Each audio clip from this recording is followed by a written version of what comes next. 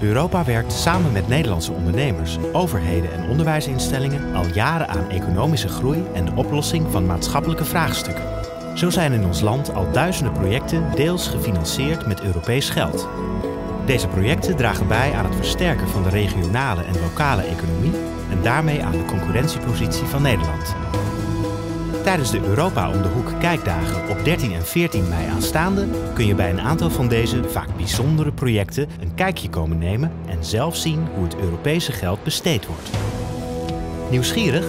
Kijk op de website www.europaomdehoek.nl/kijkdagen en check welke projecten je allemaal kunt bezoeken.